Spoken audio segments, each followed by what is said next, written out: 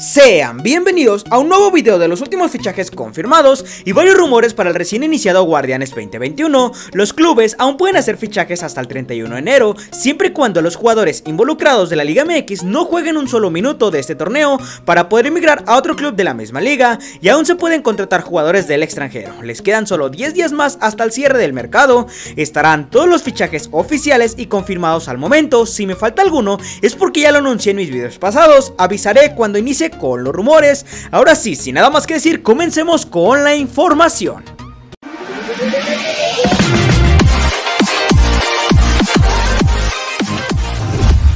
Rayos del Necaxa siguen sumando elementos para el torneo clausura 2021 y tras dos fechas del campeonato hicieron oficial la contratación del delantero uruguayo Rodrigo Aguirre como su nuevo refuerzo. A través de sus redes sociales, el conjunto hidrocálido realizó la presentación del atacante de 26 años de edad que llega procedente de la Liga Deportiva Universitaria de Quito, conjunto que milita en la Liga de Ecuador. Aguirre llega a la Liga MX con experiencia en la Serie A, pues tras salir de las inferiores de Liverpool de Uruguay, pasó por Oludinense, Empoli y Perugia, además de militar en equipos como el Nacional de Uruguay y el Botafogo de Brasil.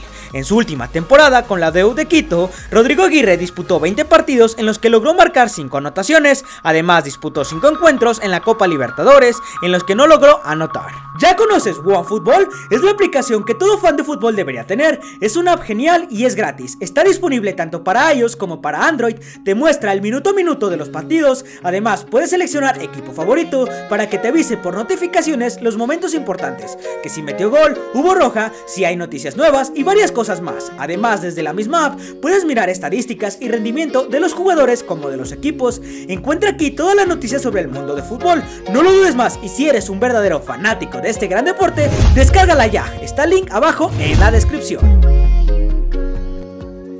En Cruz Azul ya van finiquitando lo que será el plantel definitivo para este torneo. Le queda una semana como fecha límite para concretar todas las altas y bajas de la plantilla de Juan Reynoso, quien ya desea trabajar a pleno con un equipo definitivo después de las dos primeras derrotas en el Guardianes 2021. Según reporta el diario Record, informó hace instantes que Walter Montoya correrá con la misma suerte que Paul Fernández y se quedarán en Cruz Azul para este certamen. Les habrían confirmado que ambos futbolistas son del agrado del entrenador peruano. La fuente confirmó que Montoya y Fernández realizarán esta semana el trámite del visado para trabajo, por lo que existe la posibilidad de que ambos sean elegibles para la jornada 3 cuando Cruz Azul visite a Pachuca. Aunque con toda seguridad estarán en la fecha 4, se puede leer en la parte del texto. Y es que las caídas en las dos primeras jornadas han incendiado los pasillos de la Noria, los directivos siguen impedidos de hacer un esfuerzo económico para afrontar nuevos fichajes, mientras se debaten qué hacer con Jonathan Rodríguez, jugador que no estaría contento y forzaría su salida de la institución. Con la permanencia de Paul y Montoya, los celestes ganarían calidad del mediocampo hacia adelante al contar con dos futbolistas cuya mayor virtud es la visión y buen tratado con el balón. El caso que quedaría por resolver sería el de Brian Angulo, por el que siguen a esperas de ofertas, de no llegar correría con la misma suerte de sus pares argentinos.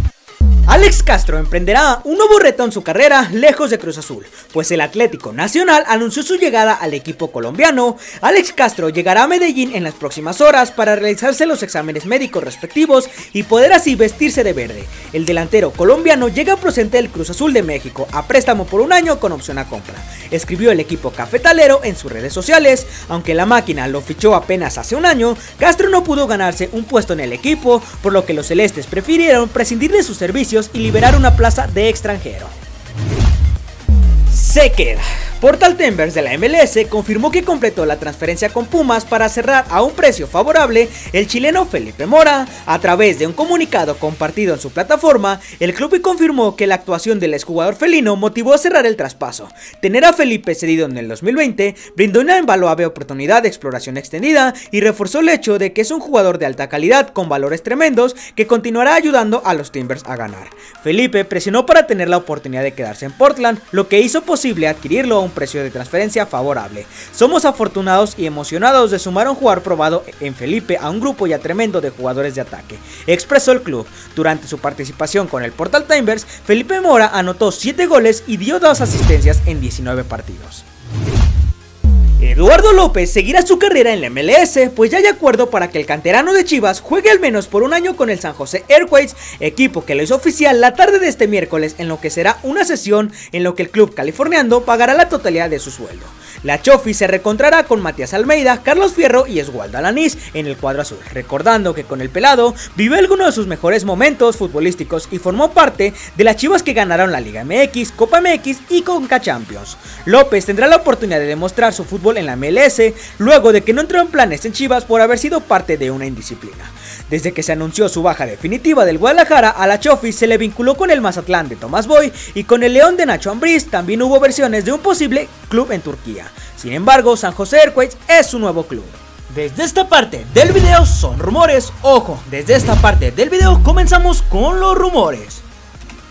De acuerdo con información revelada por el periodista brasileño Mateus Madeuro, compartida por Carlos Córdoba, la máquina de Cruz Azul aún no ha podido llegar a un acuerdo con la escuadra brasileña del Botafogo por el zaguero Cano de cara a este torneo clausura 2021 de la Liga MX. Según se detalla con la información, Botafogo lanzó una contraoferta a Cruz Azul en donde los celestes tendrán que pagar 400 mil dólares por el defensa para conseguir su cesión, con una opción de compra al final de 4 millones de dólares una vez terminado el préstamo, aunque no se especifica si es obligatorio.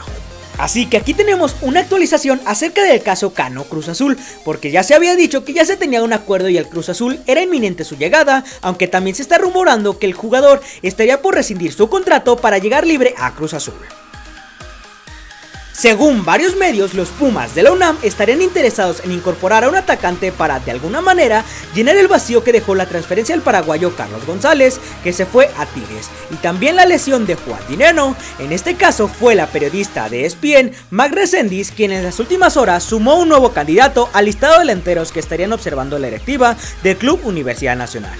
Luego del choque frente a los Cholos de Tijuana, en Pumas sonaron nombres como el del panameño Gabriel Torres de la Universidad de Chile y el de Marc Bolaños del Colo Colo del mismo país. Y ahora la comunicadora aportó a John Freddy Miranda, centrodelantero del Bucaya Patriotas de la Primera División de Colombia.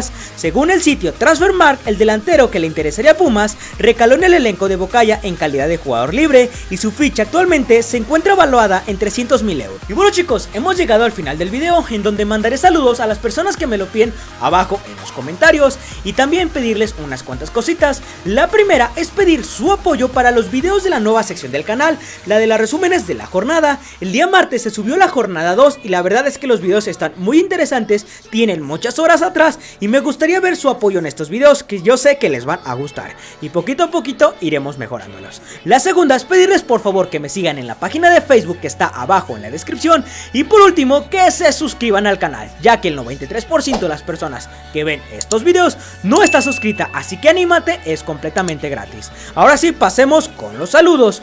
Un saludo para Dantes Camilla, también un saludo para Zabala Santiago, Emanuel Aporte, un saludo para Winnie Sánchez, un saludo también para Christopher Alexander Hernández Alcade, un saludo también para Fran Full y un saludo para José Rivas, José Colin, José Didier Cruz Azul, un saludo final para Kevin Alexander y Hernán Sánchez. Y hasta aquí el video de hoy. Espero que haya sido de tu agrado, lo compartas con tus amigos futboleros para avisarles que su equipo ya se reforzó o qué rumores están sonando. Y también te quiero pedir por favor que te suscribas al canal, le des like y me pongas abajo en los comentarios qué te parece el video. Y nos vemos hasta la próxima. ¡Adiós!